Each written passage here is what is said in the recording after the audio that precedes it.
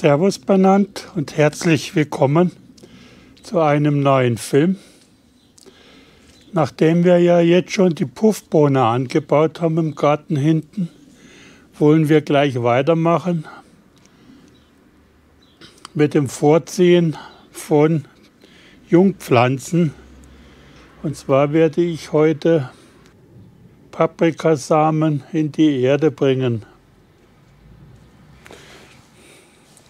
Dazu benutze ich solche Schalen. Es sind Schalen, die man Fertigsalate hat. Die schmeiße ich natürlich nicht weg, weil die haben einen großen Zweck für mich. Ich habe überlegt, ob ich unten schon Löcher reinbohren soll, damit es keine Staunässe gibt, aber das werde ich nicht tun.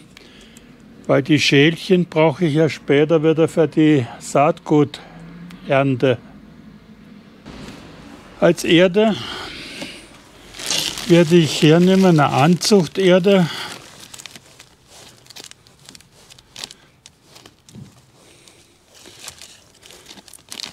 Von einer sehr bekannten Firma. Muss ich aber dazu sagen, die ist recht teuer. Da kosten 20 Liter 6,50 Euro ungefähr. Mache ich jetzt nur bei den Paprikas. Und wenn noch was übrig ist, später bei den Tomaten. Alle anderen Sämlinge kommen dann in eine Anzuchtserde von einem Discounter. Die habe ich auch schon gekauft, ist biomäßig und kostet nur 2,60 Euro mit 16 Liter. Schon ein kleiner Unterschied. Vor allen Dingen, wenn man jedes Jahr so zwischen fünf und acht solche Säcke braucht.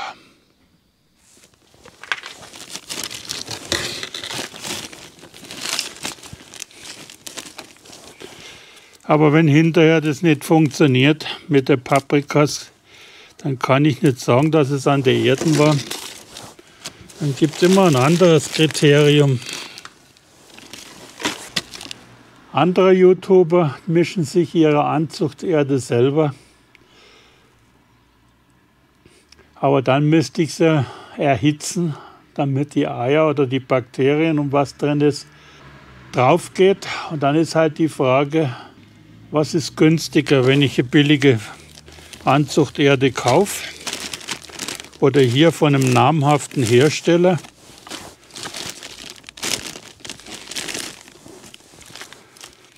Oder die Stromkosten von einem Elektroofen. Meine Küchenhexe habe ich nicht. Ja, wahrscheinlich habe ich eh schon fast zu viel. Aber ich werde es mit fünf Sorten probieren.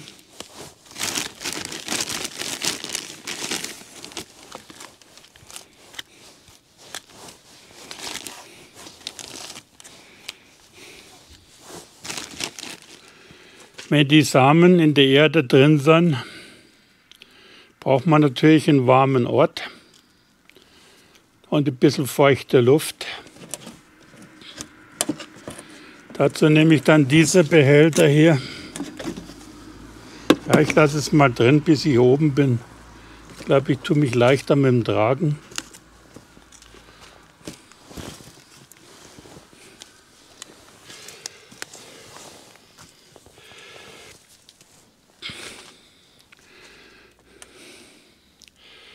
Und den Rest machen wir jetzt dann oben in der Wohnung. Ich musste leider eine kleine Pause einlegen, weil die Batterie vom zweiten Display, den ich auf der GoPro drauf habe, wo ich mich kontrollieren kann, leer geworden ist. Anbauen am Paprika werde ich eine Snackpaprika Corno di Taro Rosa. So schaut die aus. Habe ich noch nicht gehabt. eine Blockpaprika Golden Star. Das ist die hier.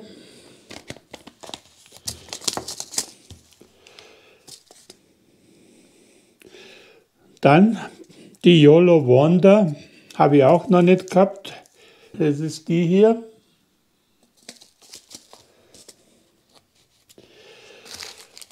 Dann habe ich noch den roten Augsburger. Der ist letzte Mal nichts geworden und da habe ich noch ein paar Körner übrig. Das ist den, den ich vom Gartenbauverein geschenkt bekommen habe.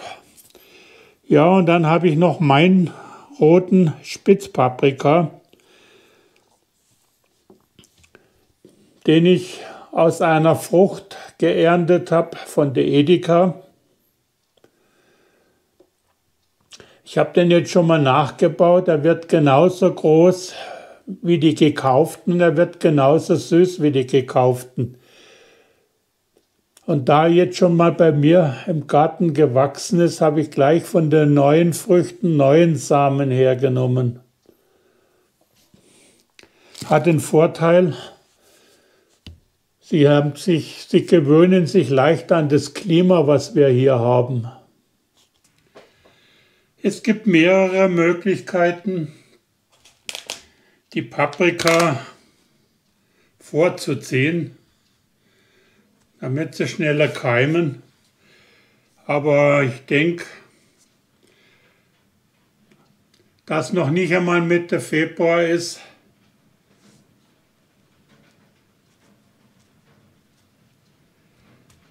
ist es ein optimaler Zeitpunkt,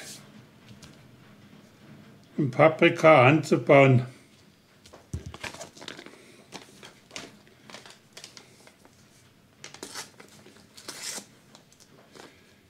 Ich werde natürlich nicht alle, alle Samen brauchen. Und deshalb werde ich die, was übrig sind, von den Jungpflanzen wieder verschenken.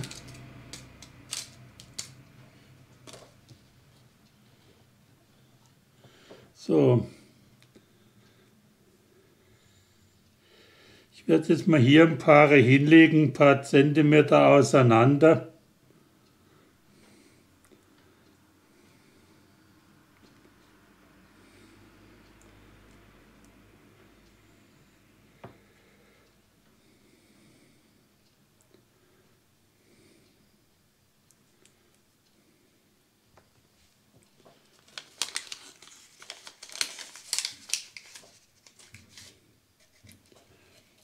Ganz vergessen. Zwei, vier, sechs, sieben, acht, neun. Ja, die Firmen werden auch immer knickriger. Aber ich denke, neun Samenkörnchen sollten reichen. Daneben gefahren ist keiner, ne. Jetzt werde ich sie mal ein bisschen andrücken, ganz wenig. Man sagt ja, Paprikasamen sollte ungefähr die zweifache Tiefe wie das Samenkorn. Anderer sagt 1 cm. Ich denke, wenn man es maximal 1 cm tief eingrabt, kann man auch nichts verkehrt machen. So, damit man weiß, welche das ist, das ist die Snack Paprika. Snack Paprika. Habe ich so ein Eisschildchen schon letztes Jahr mir zugelegt. Und da schreibe ich es drauf, dieses Mal mit Kugelschreiber. Letztes Jahr habe ich einen Bleistift genommen, aber manche Stäbchen ziehen das Wasser auf und dann geht die Farbe ab, man sieht es nicht.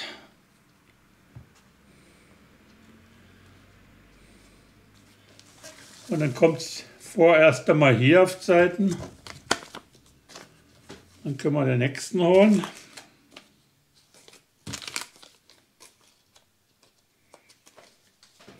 Das legen wir mal hier auf Seiten.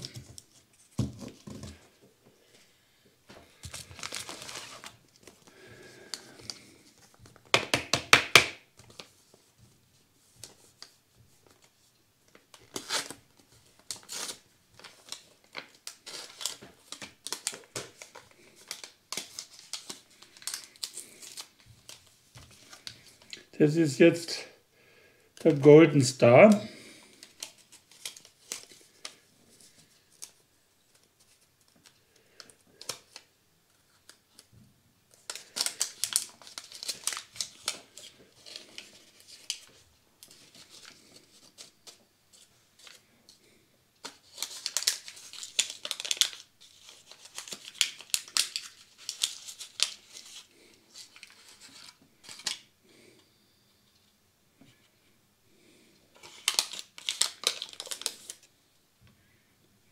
Ja, und es ist kein Blödsinn.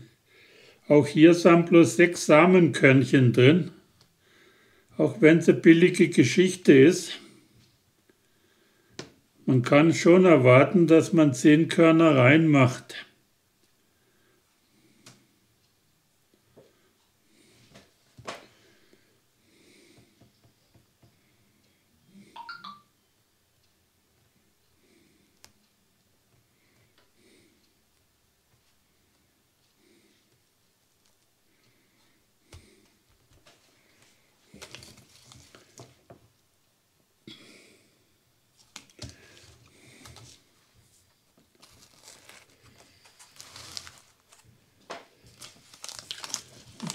Zum Aufzeiten, weil die Packung auch schon wieder leer ist. Ich könnte ja eigentlich gleich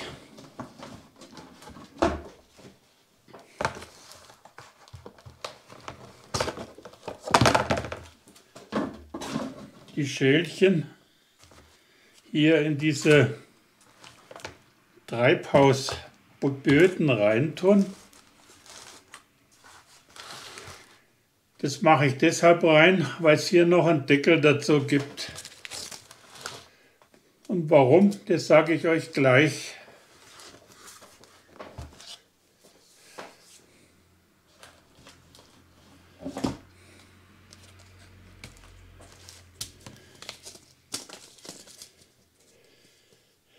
So, jetzt kommt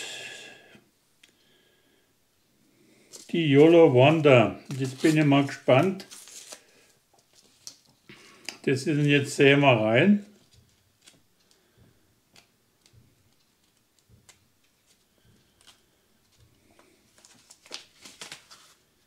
Die jetzt nicht in so einer Keimtüte drin waren. Na, wenn ich sechs Samenkörner heute ausliefer und der Samen ist frisch, dann brauche ich nicht in solche Zusatztütchen reinmachen. Dann nehme ich lieber so eine Packung her wie der hier.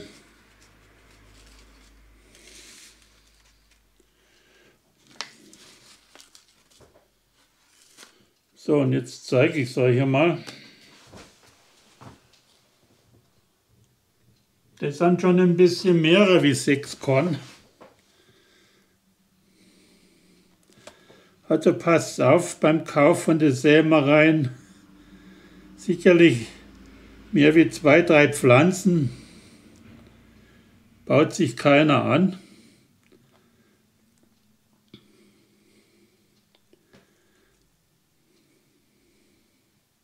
So, mehr, mehr brauche ich auch nicht.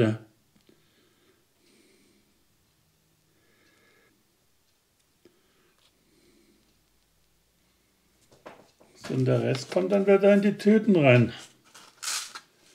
Selbst hier sind zwei Stück, liegen zwei Stück noch daneben, aber da ich es nicht zuordnen kann, ob die jetzt hier rausgeflogen sind, lasse ich es lieber weg.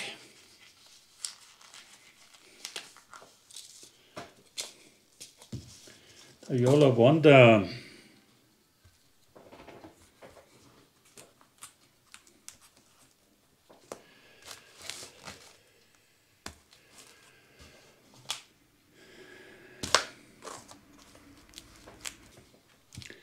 Hier werde ich jetzt den roten Augsburger ansehen.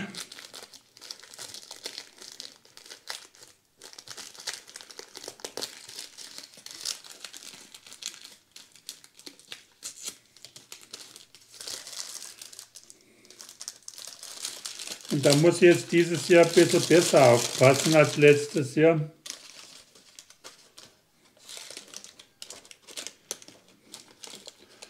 Ja, selbst hier habe ich mehr wie sechs Körnchen noch übrig.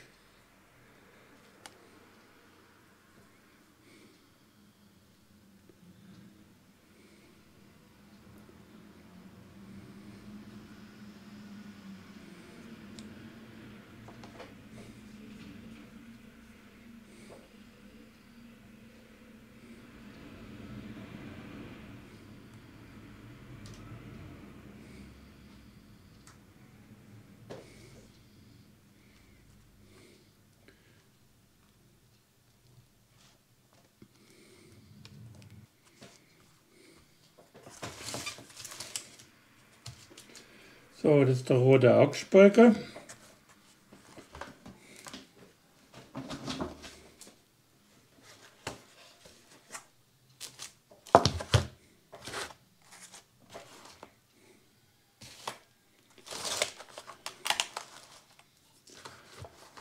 Schon mal wieder hier drauf.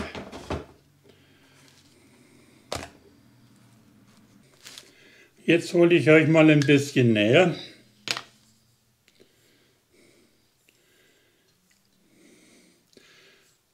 Dieser Samen, der hier drin ist, ist von einer Paprika, von einer einzigen Frucht. Das sind bestimmt ja, 100, zwischen 50 und 100, sagen wir mal so, Samenkörner. Und da kann man ja mal ein bisschen großzügiger sein.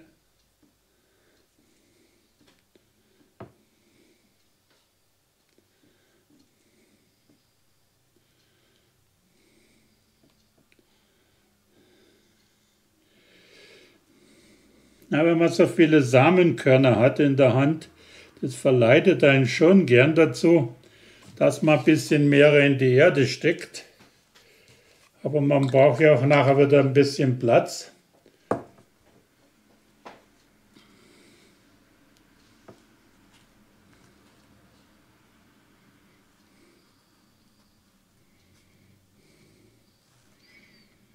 Und da steckt man jetzt 20 Körner rein, für das, dass ich dann nur zwei Pflanzen brauche. Aber Mai, das ist halt, das ist halt so. Auch hier kommt dann das Schildchen rein vom Spitzpaprika. Da es mehrere Spitzpaprikas gibt von der Edeka. Und anschließend werden es alle gewässert.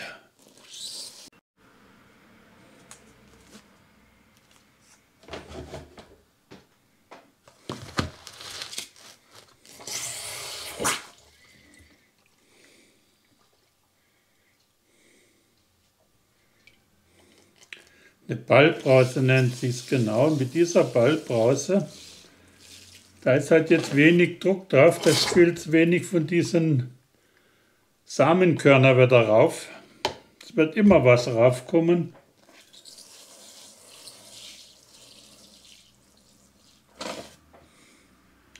Aber die werde ich dann einfach so wieder mit den Fingern in die Erde drücken.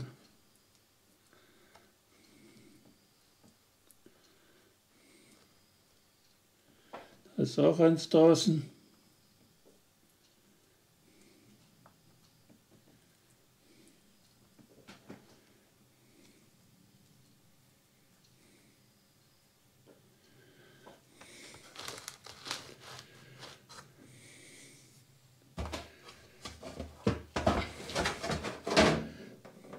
Da kommen jetzt solche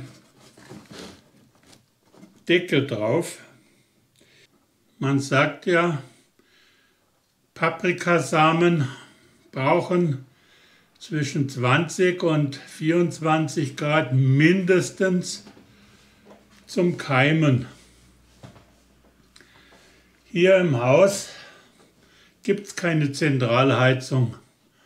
Das ganze Haus wird mit dem Kachelofen, was man hinter mir sieht, beheizt. Ich heiz allerdings erst so am Nachmittag so gegen 4 Uhr ein, habe dann aber über die Nacht eine Temperatur von 22 Grad bis 23 Grad. Und deshalb kommen die in solche Mini-Gewächshäuschen rein. Da wird auch oben zugemacht und dann stelle ich es auf dem Kachelofen oben drauf auf eine Korkplatte. So habe ich es jedes Jahr gemacht und jedes Jahr ist irgendwas draus geworden bis auf den roten Augspeuker.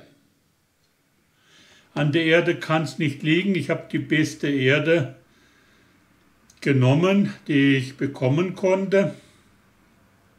Kann es nur an der Temperatur liegen. Aber wenn ich ehrlich bin, wenn ich von jeder Sorte nur ein Pflänzchen habe, dann ist es schon wahrscheinlich eh schon so viel Paprika, den ich selber gar nicht verbrauchen kann. Am liebsten ist mir hier der von der Edeka, aber wenn man nicht experimentiert, dann weiß man auch nicht, ob es noch was Besseres gibt. Und deswegen räumen wir den mal hier hoch.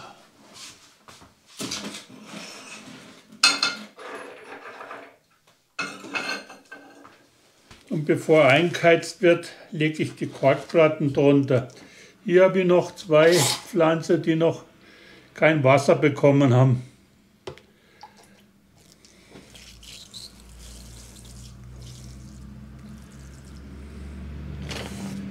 Im Wasser muss man halt aufpassen, weil die Schalen unten keine Löcher drin haben.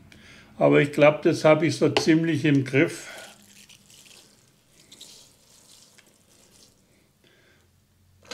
So. Und da hat es jetzt kein Samenkorn rausgedrückt.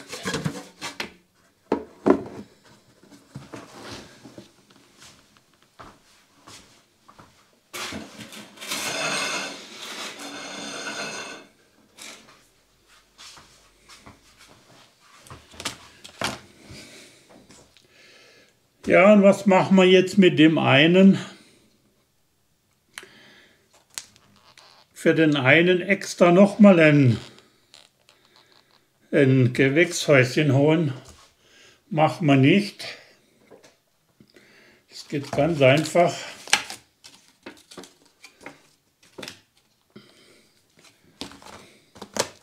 Der kriegt den Deckel, so wie er dabei gehabt hat. Da wird die Kerbe reingeschnitten.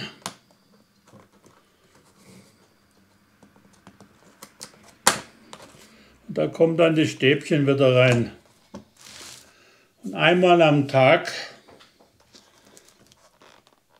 solange nichts rauskommt, solange nichts keimt, werde ich einmal am Tag den Deckel aufmachen, um die Feuchtigkeit, die unterm Deckel sich ansammelt, wieder rauszulassen. Der kommt dann auch einfach nur hier nicht dazu.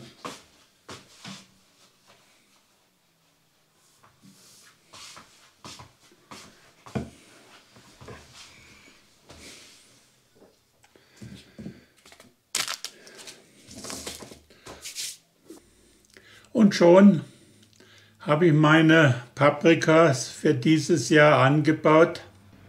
Die anderen Sachen, die meisten kommen ja erst ab März in die Anzuchtschalen. Nur das, was lange dauert, wie für Salis. Für Salis werde ich dieses Jahr aber keine aus Samen ziehen. Ich habe ja letztes Jahr Stecklinge gemacht. Ich blende es euch mal ein. Und die schauen recht gut aus. Und wenn alle Pflanzen hier was werden, dann habe ich so viele fürs alles, dass ich es gar nicht alleine essen kann. Was man noch anbauen kann, ist die Aubergine. Auberginen werde ich dieses Jahr keine anbauen. Ich selber mag sie ja nicht unbedingt. Und im Tomatenhaus haben es mir letztes Jahr mehr Schaden angerichtet, weil Tomaten und Auberginen, das sind gar keine guten Freunde. Entweder geht die Tomate drauf, wie im vorletzten Jahr. Da habe ich drei Pflanzen Auberginen drin gehabt. Und letztes Jahr